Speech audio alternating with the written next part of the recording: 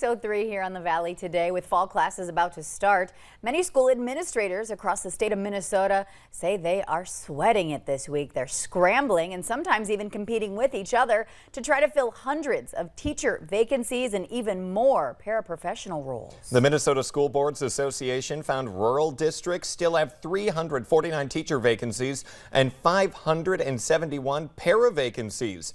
More than 60% of those open jobs had zero applicants. Now here's just one example. We checked the Moorhead Schools website this morning. We found the district still listed seven open teaching positions and 17 paraprofessionals. The new school year for them starts in just two days.